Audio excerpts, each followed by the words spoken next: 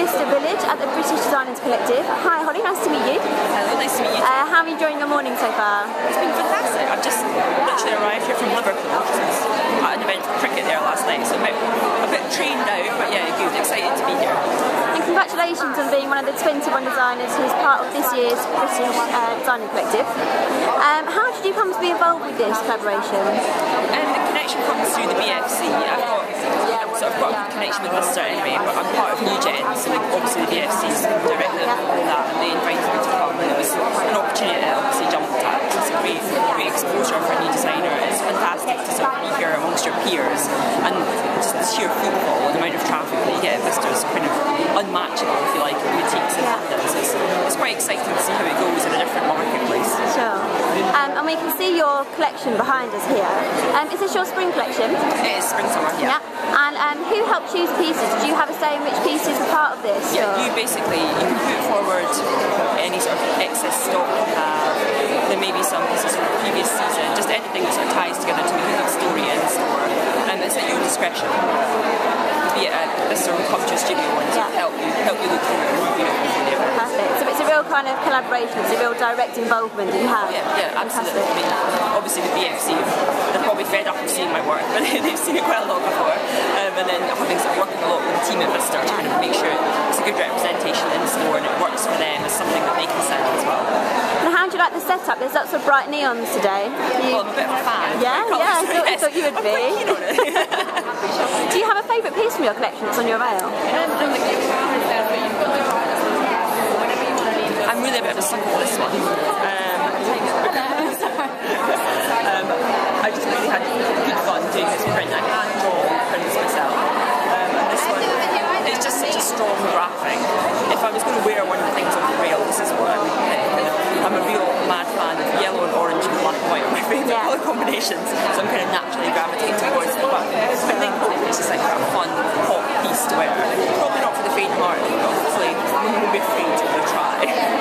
And obviously, of course, apart from your own label, which other British labels are you loving at the moment? I'm a huge fan of um, Christopher Kane, Jonathan Saunders, obviously the fellow Scots, and that's probably a bit biased. Yeah, yeah. I love their use of colour in what they do. I think for me, like Christopher's just really refined what he does to be such a unique approach that he has each season. And Jonathan's just really kind of refined the level of luxury and pared it down almost over the seasons yeah. to become such a sort of high-end, really desirable, but a really good sensibility and kind of couture ethos within what he does. And I have a huge, huge amount of respect do you take inspiration from designers like this? Do you kind of, are you inspired by their work and their creativity? Do you ever kind of take inspiration from that at all? Yeah, I mean, I think in terms of sort of design inspiration, I, I don't really look very much at, at trends or other designers because yeah. I'm quite a, I'm a real believer in doing what you you think is good and sure. sort of not always looking at outside influences, but not looking at direct outside fashion influences too much because I mm. think it should come down to what you want to wear. Because for me, I think you have to wear to wear it to endorse it. You have to know it's going to work, and yeah. that's something that I kind of try and do as much as possible. So I know how a garment's going to feel on, and that's why I line things with silk. So I know it will feel nice when you wear it. It'll look visually strong, but I want it to feel good when you're wearing it too.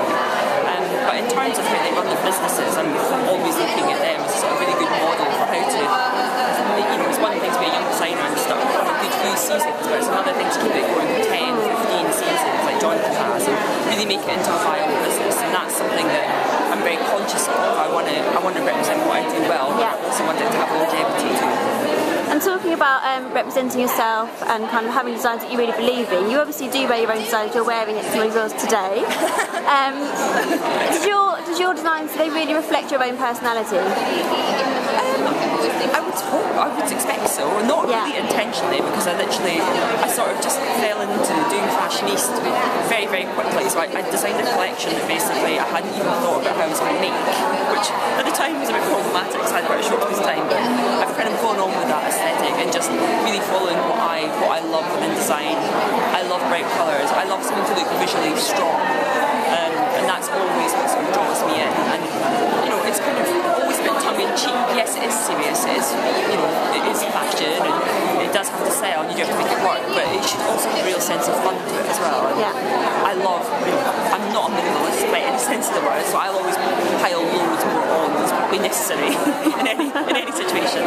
But um, I think it's just as easy to be paired like that, sort of individual pieces that work for people in their own right as well. So I would hope it's a representation of me because I I love I absolutely love what I do and I, I know that I'm extremely lucky to have you know, the back of the Regen, the Yeah. FC, to be involved in things like this and it's kind of London. That's why London is such an amazing place to work because there's such a sort of supportive creative network there. Just Perfect. And what would be your um, top style tips for spring? Do you have any kind of must-have pieces on your list that you're lusting after? Um, gosh, I'm always lusting after sen- unsensible footwear, to be honest. I just bought some Chanel ankle boots second hand Wow. in New York, which I'm just, I can't, I'm so unbelievably excited to get them on. it's just, I can almost wait to get back to London and wear them. But um, I think just in terms of style, just you go for what you like. I don't really sort of believe in saying, I think people should wear this and that. I think that's what's interesting is that as a designer to see how people interpret your work within their own wardrobes, how they make those pieces, how they how they style them, how they do it themselves, and what they have in their existing wardrobes. Um, and I'll you know I'll wear a lot of charity shop and vintage stuff. Some designer stuff. It's just that you know it's that kind of a bit of a cliche mix of things, but that's what makes it exciting, and that's what makes it interesting style to me. Perfect. Well, Holly Fulton, thank you very much for talking to my fashion hour today. Thank you very much.